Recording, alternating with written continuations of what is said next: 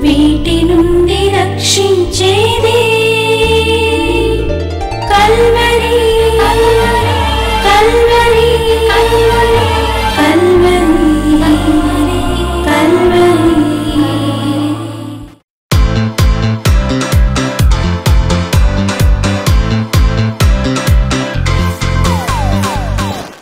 దేవునికి మహిమ కలుగును గాక మనుషుల్లో ఉన్న అవిధేయత అంట దేవుని ఉగ్రతకు దేవుడు విధించే శిక్షకు కారణం అవుతుందంట పశ్చాత్తాపం ఏం చేస్తుందంటే పునరుద్ధరణకు దారితీస్తుందంట మనలో ఉన్న పొరపాట్లు మనకు దేవునికి వ్యతిరేకంగా చేసే క్రియలు ఏం చేస్తాయంటే మన మీదకి శిక్ష తీసుకుని వస్తాయంట. ఎప్పుడైతే మనిషి అది పాపం అని తెలుసుకుని ఇది దేవునికి వ్యతిరేకమైందని తెలుసుకుని దేవుని సన్నిధిలో పశ్చాత్తాపడ్డాడో ఆ పశ్చాత్తాపడిన పరిస్థితి అంతా మనం ఏది పోగొట్టుకున్నామో దేనికి దూరమయ్యామో మనం అసలు భూమి మీదకి ఎందుకు వచ్చామో అది దేవుని ఉద్దేశం ఏమై ఉన్నదో దాన్ని నెరవేర్చడం మొదలుపెట్టుంది దేవుడికి మహిమ కలుగును గాక అవిధేయత లేకుండా మనిషి అనేవాడు భూమి మీద ఉండడం. ఈ కాలక్రమంలో జీవనం మొదలైనాక మనిషి జ్ఞానం ఎరిగి ఈ లోకంలో పోరాటం ప్రారంభమైనప్పుడు ఈ కుటుంబ వ్యవస్థను ముందుకు తీసుకుని వెళ్ళాలంటే ఎన్నో అవసరాలు మనిషికి ఉంటాయి కాబట్టి ఆ అవసరాలు తీర్చబడటానికి కొన్ని పరిస్థితుల్లో కొన్ని తప్పులు కొన్ని నేరాలు కొన్ని దేవునికి వ్యతిరేకమైన క్రియలు మనిషి చేయటం మొదలు పెడతాడు మనుషులకి ఉండే సహజమైన కొన్ని లక్షణాలే. అందుకనే మన వాళ్ళు ఎవరైనా ఆడపిల్ల ఉంటే మా అమ్మాయి పెళ్ళి చేయాలండి అంటారు. చెప్పండి ఎవరి ఎవరికి ఇద్దాం అంటే ఫస్ట్ గవర్నమెంట్ ఎంప్లాయీ ఉంటే చూడండి అంటారు. ఏంటి గవర్నమెంట్ ఎంప్లాయీ అంటే ఒక గ్యారంటీ ఉంటుంది ఒక ఫిక్స్డ్ శాలరీ ఉంటుంది. భూమి బద్దలైన అంటారు మన భూమి బద్దలైన సునామీ వచ్చిన తుఫాన్ వచ్చిన ఆఖరికి కరోనా వచ్చిన ఫస్ట్ వాళ్ళకి శాలరీ వస్తుంది. ఒక శాలరీ వచ్చినప్పుడు ఏం చేస్తాడంటే మనిషి ఫిక్స్ చేసుకుంటాడు ఈ అమౌంట్ దీనికి ఈ అమౌంట్ దీనికి అని. ఫిక్స్ చేసుకుని తన కుటుంబ జీవితాన్ని హ్యాపీగా నడిపిస్తూ ఉంటాడు. అసలు ఇన్కమ్ సోర్సెస్ లేవు. కుటుంబ అవసరాలు తీర్చబడాలి. ఈ కుటుంబ అవసరాల కోసం చేసిన అప్పులు ఆ వడ్డీలు ఆ సమస్యలు పెరిగినాయి అనుకోండి మనిషి సతమతమైపోతూ ఉంటాడు. ఇలాంటి కొన్ని క్లిష్టమైన పరిస్థితుల్లో ఏం చేస్తాడంటే తప్పులు చేయటానికి అబద్ధాలు ఆడటానికి లేకపోతే మోసం చేయటానికి లేకపోతే రకరకాలుగా తన అవసరాలు తీర్చుకోవటానికి దేవునికి వ్యతిరేకమైన క్రియలు కూడా చేయటం మొదలు పెడతాడు. ఈరోజు మనం దాని గురించి మాట్లాడుకుంటున్నామంటే ఏదైనా కొన్ని వ్యతిరేకమైన క్రియలు ప్రారంభమైనప్పుడు ఏమవుతుందంటే కొన్ని కష్టాలు వస్తాయి. ఆ కష్టాలు అంటానికి సాదృశ్యం ఏంటంటే దేవుని ఉగ్రత దేవుని శిక్ష మన మీదకి వస్తుంది. అది మనిషికి తెలుస్తుంది.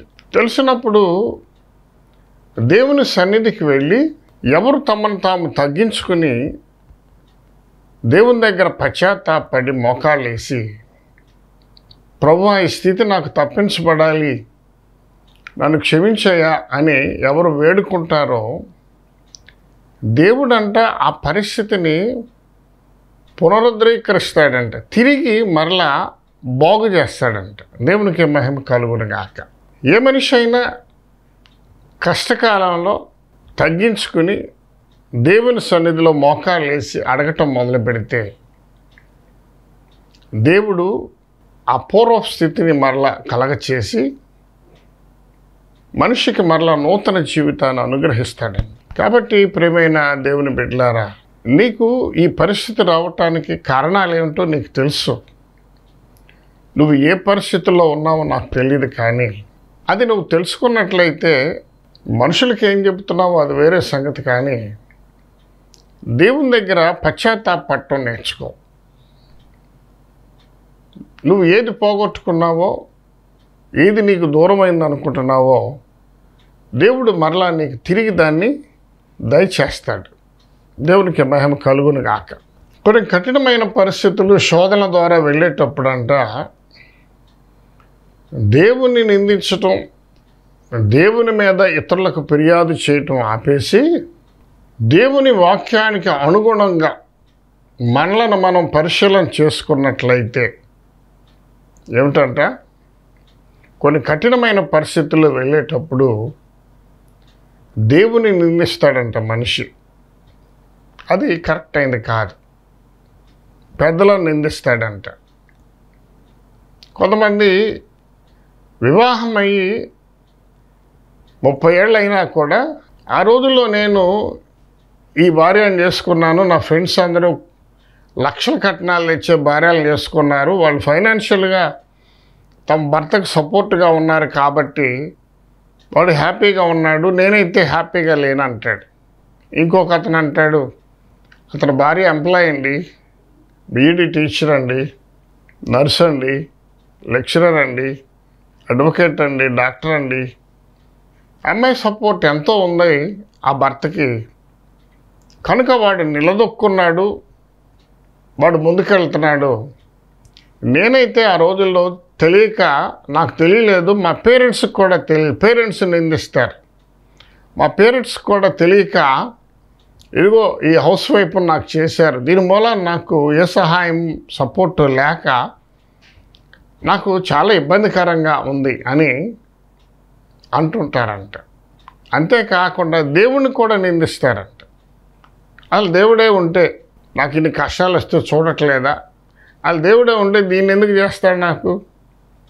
దేవుడే ఉంటే వీడిని ఎందుకు చేసుకుంటాను నేను? దేవుని కూడా నిందిస్తారంట. అది కరెక్ట్ కాదంట. వాక్యానుసారమైన తగ్గింపు నీలో ఉండి వాక్యానుసారముగా ఈ ఈ స్థితి రావడానికి కారణం ఏమై ఉన్నది అని నేను నువ్వు పరిశీలన చేసుకోవాలంట. దేవునికి మహిమ కలుగునుగాక ఎప్పుడైతే నేను నువ్వు పరిశీలన చేసుకున్నావో ఇది మనుషులకి కొత్త ఏం కాదు. ఆ రోజుల్లో భూమి మీద మొట్టమొదటి మనుషులైన స్త్రీ పురుషులైన ఆదాము అవ్వల కాలంలో ఆదాము చాలా మంచివాడు. దేవుని భయభక్తులు కలిగి ఉన్నాడు. ఆదాముకు దేవుడు ఏ పని అప్పగించాడో ఆ పనే చేస్తున్నాడు. వేరే పని చేయట్లా. దేవుడు ఎందుకనో ఆదాముకి సాటి అయిన సహాయముగా స్త్రీని ఇవ్వాలనుకుని చాలా కాలం ఆలోచన చేశాడు. ఆలస్యం చేసి హవ్వని భారీగా ఇచ్చాడు. ఇచ్చినప్పుడు ఒక ఆజ్ఞ చెప్పాడు. మీరు ఈ తోటలో ఉన్న అన్ని చెట్ల ఫలాలు భుజించండి కానీ అదిగో అక్కడని అక్కడ ఉన్న మంచి చెడులు తెలియచెప్పే ఆ వృక్షఫలం మాత్రం తినబాకండి అని చెప్పాడు. అసలు ఆదాముకి ఆ సంగతి జ్ఞాపకమే లేదు. ఎందుకంటే ఆదాము తోటని సేద్యం చేస్తూ ఉంటాడు. తోటని ఆ పెరిగిన మొక్కలు తీసేస్తూ ఉంటాడు కట్ చేస్తూ ఉంటాడు నీళ్ళు పెట్టుకుంటూ ఉంటాడు ఆ ఫ్రూట్స్ ఉంటే తింటూ ఉంటాడు. కానీ హవం ఏం చేసిందంటే ఎందుకు ఈ- చెట్టు ఫలం తినొద్దన్నాడు ఇందులో ఏముందో సీక్రెట్. అనుకుని ఆదాం పనిచేయటానికి తోటలోకి వెళ్ళిపోతే ఈ హవమ్మ బయలుదేరి వెళ్ళి ఆ మంచి చెడ్డలు తెలియచేసే వృక్షం వైపే చూస్తూ ఉండేదంట. ఎప్పుడైతే దురాశ కలిగి దేవుని ఆజ్ఞను వ్యతిరేకించి ఆ చెట్టు వంక చూస్తూ నిలబడిందో అపవాదికి సమయం వచ్చింది. అపవాది కూడా వేచి ఉంటాడంట. ఎక్కడ బలహీనపడి మనిషి పాపం వైపు తొంగి చూస్తాడో ఎదురు చూస్తూ ఉంటాడంట ఆ పాపం వైపు తొంగి చూసినప్పుడు గబాలను కౌగిలించుకుని వాడిలోకి లాగేసుకుంటాడంట. వాడి చీకట్లోకి లాక్కెళ్ళిపోతాడంట. ఆదాముతో ప్రశ్నించడానికి ఆదాం ఎప్పుడు ఈ చెట్టు దగ్గరికి రావట్లేదు అపవాదికి అవకాశం ఇవ్వట్లా. అవమ్మ అయితే అవకాశం ఇచ్చి చెట్టు దగ్గరికి వెళ్ళి దీర్ఘంగా చెట్టు వంక చూస్తుంది పండు వంక చూస్తుంది. ఎందుకు తినొద్దన్నాడు ఇది తింటే ఏమవుతుంది? తన హృదయంలో ఆలోచన చేస్తుంది. ఈ సంగతి అపవాది గమనించి వాడు సర్పంలోకి ప్రవేశించి భూమి మీద జంతువులన్నిటికన్నా సర్పము యుక్తి కలిగింది అని అక్కడ రాయబడి ఉంటుంది. యుక్తి కలిగింది కాబట్టి అపవాదిని దురాత్మని తనలోకి రానిచ్చింది. వాడు సర్పంలోకి వెళ్ళి మాట్లాడటం మొదలుపెట్టాడు మనిషిలాగా. ఇది నిజమా? అన్నాడంట హవమ్మతో తన భర్త ఆదాము ఆకాశం నుంచి దేవుడు తప్ప మరో మనిషి మాట అక్కడ వినబడే అవకాశమే లేదు.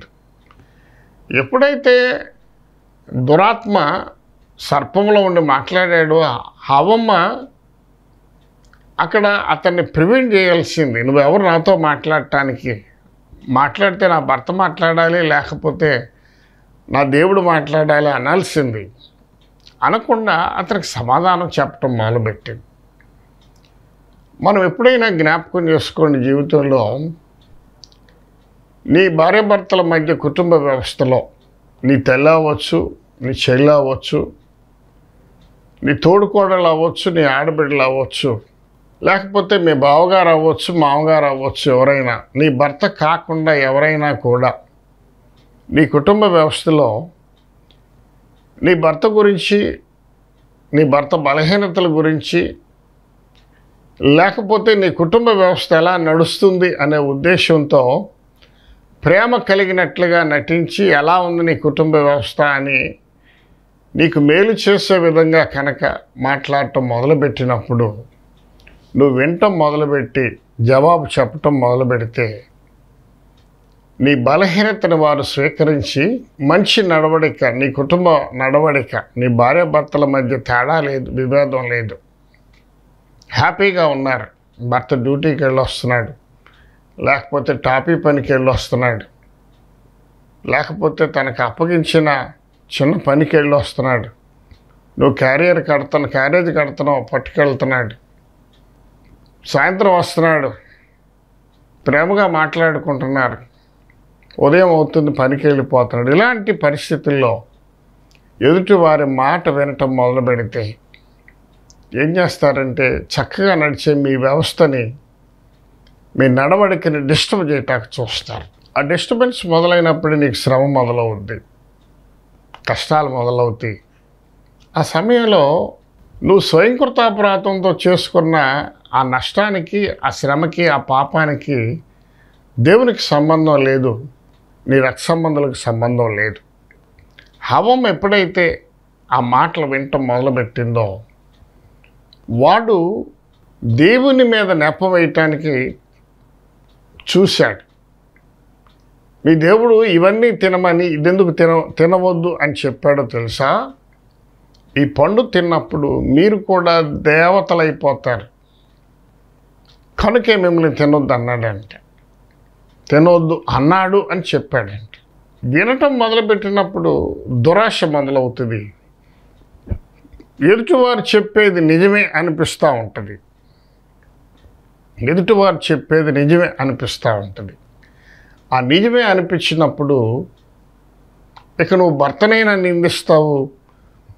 కుటుంబాన్నైనా పోగొట్టుకుంటావు బిడ్డలకైనా దూరం అవుతావు కానీ నువ్వు ఆ భ్రమలో నుంచి బయటికి రావు. పురుషుడైనా అంతే. ఆ భ్రమలో నుంచి బయటికి రాడు. ఆ భ్రమలోనే ఉన్నది అవ్వమ్మ ఆ పండు తినవద్దని ప్రభు చెప్పిన పండుని కోసుకుని తినేసింది తినదూరుకుందా? చూసుకుని ఉంటుంది శరీరాన్ని. ఏమైనా మార్పు వస్తుందా? చూసుకుని ఉంటుంది ప్రకృతిలో ఏమైనా మార్పు వస్తుందా? చూసుకుని ఉంటుంది. ఏమన్నా ఆకాశంలోకి దేవుడు ఆకాశం నుంచి మాట్లాడుతున్నాడు కదా ఆకాశంలోకి వెళ్ళవచ్చా అనుకుని ఉంటుంది. ప్రేమైన దేవుని బిడ్డలారా జ్ఞాపకం చేసుకోండి. ఏ మార్పు కనబడలా? ఈ తప్పు ఈ నెపం నా మీదే ఉండకూడదు కనుక దేవునికి సమాధానం చెప్పాలి కాబట్టి నా భర్తను కూడా ఇరికించాలనుకుంది. భర్తను పిలిచింది. నేను తిన్నాను. నువ్వు తింటావా లేదా? మరి భార్య వచ్చింది ఈ లోకంలో ఉన్న ఇద్దరే మనుషులు. ఇంకొక మనిషి ఇంకో మనిషిని ఒత్తిడి చేస్తున్నప్పుడు ఆ వ్యక్తి వినకుండా ఆ మాట వినకుండా ఉండలేడు ఆ పండ తీసుకుని ఆదాం కూడా తిన్నాడు. వారి అప్పటికి వరకు ఉన్న వారి ఆ దిగంబర స్వరూపమే కానీ అదేదో ఒక రకమైన దేహం అయి ఉంటుంది. మార్పు చెందింది. మార్పు చెంది ఇప్పుడు మనం ఉన్న రూపంలోకి వచ్చారు. అప్పుడున్న శరీరం ఏంటో తెలియదు కానీ వారు దిగంబరులుగా ఉన్నారు కానీ సిగ్గు సిగ్గు నెరగక ఉన్నారు అని రాయబడి ఉంటుంది. అంటే సిగ్గు తెలియని లేకపోతే సిగ్గు కనపడని శరీరం అయి ఉంటుంది అది. ఈ దేహం వేరు. ఎప్పుడైతే వారిని వారు చూసుకుని దిగంబరులమయ్యాం అనుకున్నారో వెంటనే చెట్టు చాటుకు వెళ్ళారు. దేవుడు వచ్చాడు. దేవుడు ఒక సమయానికి వస్తాడు. ఆదామని పిలిచి బాగోగులు అడుగుతాడు. ఎలా ఉన్నావు? ఎంతవరకు సేద్యం చేశావు? ఏం ఆహారం భుజించావు? ఎలా ఉంది నీకు? అని అడిగి వెళ్తాడు దేవుడు. పడుకో పొద్దున్న వస్తానని చెబుతాడు. యథావిధిగా దేవుడు వచ్చాడు. ఆదామును పిలిచాడు. ఆదాం పలకట్లేదు. మళ్ళా పిలిచాడు. ఎక్కడున్నావు ఆదాం? అన్నాడు. నేను చెట్టు చాటున ఉన్నాను అన్నాడు. ఎందుకున్నావు అన్నాడు. మేము దిగంబరులుగా ఉన్నాం కాబట్టి దాక్కున్నాం అన్నాడు. నువ్వు దిగంబరమని ఎవడు చెప్పాడు నీకు? అన్నాడు. అప్పుడు దేవుని మీద నింద వేయటం మొదలుపెట్టాడు. ఇదిగో నువ్వు నాకు సాటి అయిన సహాయం అని దీన్ని ఒక దాన్ని నాకు భారీగా ఇచ్చావు కదా. ఇది నన్ను ఆ తినవద్దని నువ్వు చెప్పిన పండు తినేటట్టుగా ఇబ్బంది పెట్టింది. దీన్ని నువ్వే నాకు కట్టబెట్టావు అని దేవుని మీద నేపం వేయటం మొదలుపెట్టాడు. ప్రియమైన దేవుని బిడ్డలారా ఎందుకు ఆ మాట రాయబడి ఉన్నదంటే నీ స్వయంకృతాపరాధాలు నీ వ్యక్తిగత లోపాల వల్ల కొన్ని కాని పరిస్థితులు నీ జీవితంలో ఎదురైనప్పుడు కొన్ని కష్టాలు శిక్షలను అనుభవించవలసి వచ్చినప్పుడు దానికి ఎవరో కారణమని చివరికి దేవుడు కూడా కారణమని దేవుని మీద నిన్న మోపకూడదంట. నిన్ను నువ్వు పరిశీలన చేసుకుని బైబిల్లో ఏమైనా వాక్యానుసారముగా వాక్యం ఏమైనా ఉన్నదా? దాని ప్రకారం కనుక నేను చేసినట్లయితే నాకు ఈ స్థితి మారుద్ది అనే ఆలోచన అంటే నువ్వు కలిగి ఉండాలంట. వాక్యానుసారముగా నువ్వు పశ్చాత్తాపడాలి. దేవుని సన్నిధికి తగ్గించుకుని వెళ్ళి మోకాళ్ళు వేసి ప్రార్థన చేయాలి. అప్పుడు ఏమవుద్దంటే మన జీవితం మార్చబడుద్ది. దేవునికి మహిమ కలుగుడు కాక కష్టాలు తీర్చబడతాయి. నీ కాలక్రమంలో నీ జీవితాన్ని నువ్వు గమనించు. కొన్ని నెలల పాటు కొన్ని కొన్ని సంవత్సరంలో కొన్ని నెలలు నువ్వు అద్దె కట్టలేని పరిస్థితి వచ్చింది నీ జీవితంలో ఒక అద్దె కొన్నప్పుడు. కానీ ఆ స్థితి శాశ్వతంగా లేదు నీ దగ్గర. ఈ మధ్యకాలంలో మనం కరోనా అనే మహమ్మారిని చూసాం భయంకరమైన స్థితిని ఎదుర్కొన్నాం. వాళ్ళు బయటికే రాని పరిస్థితి మనిషికి మనిషి చూడని పరిస్థితి. ఒక చోట చేయి వేసి నిలబడలేని పరిస్థితి. ఇన్ని ఎదుర్కొన్నాం అనుభవించాం కానీ ఆ కాలం లేదు ఇప్పుడు. ఆ కాలం లేదు దాటిపోయాం మనం. అధిగమించాం దాన్ని. ఏది శాశ్వతం కాదు. నీ శ్రమ శాశ్వతం కాదు నీ దుఃఖం శాశ్వతం కాదు నీ ఆనందం శాశ్వతం కాదు. ఎందుకు శాశ్వతం కాదంటే ఈ భూమి మీదకి నిన్ను పంపిన దేవుడు నీకు తోడుగా ఉన్నాడు కాబట్టి నువ్వు వాటిని జయించే శక్తిని దాటి వెళ్ళే కృపను దేవుడు నీకు ఇస్తున్నాడు. ఆ సంగతి నువ్వు మర్చిపోబాక నీకు శ్రమ వచ్చినప్పుడు శోధన వచ్చినప్పుడు దుఃఖం వేదన వచ్చినప్పుడు ఎదుటి వారిని నిందించకుండా నీకు వివాహం చేసిన తండ్రినో తల్లినో నిందించకుండా నీకు భార్యనిచ్చిన నీ తండ్రిని అవమానించకుండా నీకు భర్తను చేసిన తల్లిదండ్రులను నీవు నిందించకుండా దేవుని దగ్గర తగ్గించుకుని ప్రార్థన చేయటం నేర్చుకో. బైబిల్ గ్రంథంలో అలాంటి వ్యక్తి ఒక వ్యక్తిని మనం పరిశీలన చేద్దాం. ఈరోజు లేఖనాల నుంచి చదువుకుందాం. రెండవ దినవృత్తాంతాల ముప్పై మూడవ అధ్యాయం మొట్టమొదటి వచనంలో మనషె అనే అతనంట ఇస్రాయల్ దేశానికి పన్నెండేళ్ళ వయసులో రాజుగా నియమించబడ్డాడు. రాజుగా నియమించబడినప్పుడు అతను యాభై ఐదు సంవత్సరాల దేశానికి రాజుగా పరిపాలన చేశాడంట. దేవునికి మహిమ కలుగును గాక. అంత లాంగ్ పీరియడ్ బహుశా రాజుగా అతనేనేమో. ఎందుకంటే సులోమాన్ నలభై ఏళ్ళు రాజుగా ఉన్నాడు. దావీద్ నలభై ఏళ్ళు రాజుగా ఉన్నాడు. పన్నెండేళ్ళ వయసులో రాజైన వాడు ఫిఫ్టీ ఫైవ్ ఇయర్స్ రాజయ్యాడంటే అతను మరి ఎలా ఉండగలిగాడు? ఇన్నేళ్ళు ఎలా ఉండగలిగాడు? తప్పప్పు లేవా తన జీవితంలో? గమనించినట్లయితే ముప్పై మూడో అధ్యాయం పదహారో వచ్చినాన్ని గమనించినట్లయితే అతను రాజ్యంలో ఉన్నట్టుండి సడన్గా ఏం చేశాడంట శకునగాండ్లను మంత్రగాళ్ళను పిలిపించి అగ్నిగుండాలు తీయించి తన కుమారులను అగ్నిగుండాల మీదుగా దాటించి మంత్రగాళ్ళను తంత్రగాళ్ళను పిలిపించి రాజ్యమంతా దేవునికి వ్యతిరేకమైన క్రియలు చేయటం మొదలుపెట్టాడంట. అది తన వ్యక్తిగత దోషం అది. నాకు అనిపించింది అతడు దేవునికి వ్యతిరేకంగా బలిపీఠాలు కట్టడం మంత్రసాలను చెల్లంగి కార్యాలు చేయటం మొదలుపెట్టినప్పుడు అశూరు రాజును తన మీదకు పంపించి అతనిని గొలుసులతో కట్టి బంధించి బబులోన్ దేశానికి బానిసగా పట్టుకెళ్ళారు. అతను స్వయంకృతాపరాధం ఏం చేసిందంటే అతనికి ఆ శిక్ష విధించింది. నాకు అర్థమైంది ఏంటంటే యాభై ఐదేళ్ళు రాజుగా పరిపాలన చేయగలిగాడంటే ఇంత లోపం ఉన్నవాడు ఎట్లా రాజు అవ్వగలిగాడు ఇన్నాళ్ళు ఎలా అవగలిగాడు అని ఇది చదువుతున్నప్పుడు నాకు అనిపించింది. ఒక మాట ఇందాక నుంచి మనం అనుకుంటున్నాం. నీ స్వయంకృతాపరాధం వల్ల నీ వ్యక్తిగత జీవితంలో నీ కుటుంబ వ్యవస్థలో వచ్చే శ్రమలు శోధనలను అధిగమించాలంటే దేవుని దగ్గర తగ్గించుకుని పశ్చాత్తాపడి మోకాలేసి ప్రార్థన చేయాలి. మనిషి ఏం చేశాడంటే వెంటనే తను చేసిన పొరపాటు గ్రహించాడు. అక్కడ చెరసాల్లో ఉండి తగ్గించుకుని దేవునికి మొరపెట్టడం మొదలుపెట్టాడంట. దేవునికి మహిమ కలుగును గాక ముప్పై రెండవ వచనంలోకి వెళ్ళే వరకు పన్నెండవ వచనంలోకి వెళ్ళే వరకు తన శ్రమలో ఉన్నప్పుడు తన దేవుని దగ్గర తగ్గించుకుని పితరుల దేవుని దగ్గర మొరబెట్టుకోవటం మొదలుపెట్టాడంట. దేవునికి మహిమ కలుగును గాక ఎప్పుడు దేవుని దగ్గర మనం మొరబెట్టుకోవటం మొదలు పెడతామో మన దోషము క్షమించి పునరుద్ధరీకరిస్తాడంట పునరుద్ధరీకరించడం అంటే రిపేర్ చేయటం. పాడైన పరిస్థితిని తిరిగి బాగు చేస్తాడంట మనిషి చేసిన పని అదే. ఎప్పుడైతే దేవుని దగ్గర బ్రతిలాడుకున్నాడో తగ్గించుకున్నాడో దేవుడు తిరిగి మరలా తన రాజ్యాన్ని తన తనకు అప్పగించాడు. తన స్థితి రాజుగా ఉన్న పరిస్థితి తనకు మరలా అప్పగించాడు.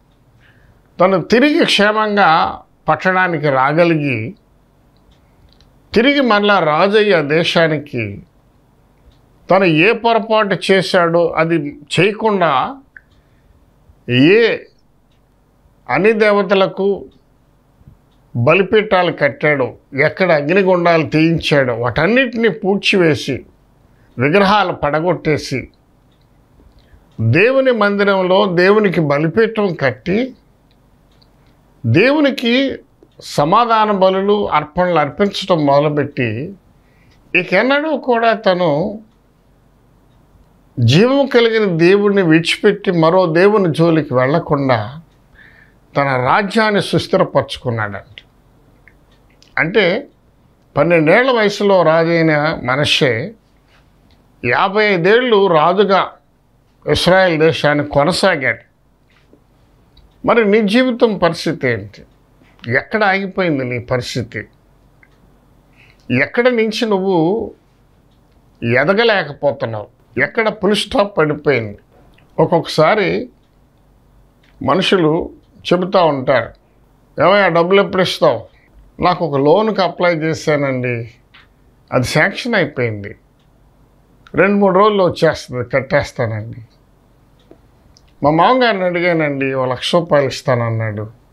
ఈ వారమే అందుద్ది ఇచ్చేస్తాను. ఆ వారం రాదు. మరో వారం రాదు. మరో వారం రాదు. ఏమైనా మాలాంటి వాళ్ళు కనబడినప్పుడు ఏం చెబుతారంటే అయ్యారు చాలా డబ్బులు రావాల్సి ఉన్నాయి కానీ ఇంటి చుట్టూ తిరిగి బయటికి వెళ్ళిపోతున్నాయి కానీ ఇంట్లోకి రావట్లేదయ్యా. సమస్యలన్నీ అట్లాగే ఉన్నాయి. నెలలు గడుస్తున్నాయి. ఈ నెలలు గడిచే కొద్దీ అప్పు ఇంకా పెరుగుతుంది. వడ్డీలు పెరుగుతున్నాయి శ్రమలు పెరుగుతున్నాయి శోధనలు పెరుగుతున్నాయి కానీ ఆనందం సమాధానం దొరకట్లేదయ్యా అని మాట్లాడుతూ ఉంటాడు. ప్రేమైన సహోదరుడు అక్కడ ఆగావేమో నువ్వు? మనుషులాగా దేవుని తెలుసుకుని తగ్గించుకుని పశ్చాత్తాపడి మోకాళ్ళు వేసి ఎందుకు క్షమాపణ అడగకూడదు? ఎందుకు నాకు ఆ స్థితి అక్కడే ఆగిపోయింది ప్రవ్వా? ఒక అంగుళం అయినా ముందుకు వెళ్ళలేకపోతుంది ఏంటి అభివృద్ధి అనేది? నేను ఎలా జయించగలను ఈ స్థితిని? ఎలా తట్టుకోగలను స్థితిని? మనిషి ఏమి చేయలేడు. ఏమి చేయలేడు. ఒక కాలుకి యాక్సిడెంట్ అయ్యి మూడు నెలలు నువ్వు కదలటానికి వీల్లేదు అని నీకు ఒక బ్యాండేజ్ వేసి పడుకోబెట్టారనుకో ఆ రోడ్డు మీదకి? పూర్వంలాగా నీ పనులు నువ్వు చేసుకోగలవా? ఒక పడిపోయిన స్థితిలో ఉన్నావు అనుకో ఒక మంచం మీద నువ్వు పిండి కట్టలు వేసుకు పడుకుని ఉన్నావు అనుకో ఆ స్థితి నీకు మారాలంటే దేవుని దగ్గర పశ్చాత్తాపడాలి. ప్రేమైన సహోదరి సహోదరుడా దేవుని నిందించకూడదు. నాకు ఎందుకు ఈ స్థితి వచ్చింది? మా తమ్ముడు కుటుంబం బాగుంది. చెల్లి కుటుంబం బాగుంది. దేవుడు ఎందుకు నా మీద చిన్న చూపు చూస్తున్నాడు? అనకూడదంట. మా అమ్మ మా నాన్న ఎంత పార్షాలిటీ తెలుసా? ఆ పెన్షన్ అంతా ఎత్తుకెళ్ళి మా అన్నయ్యకి ఇస్తారు కానీ నాకెవరు.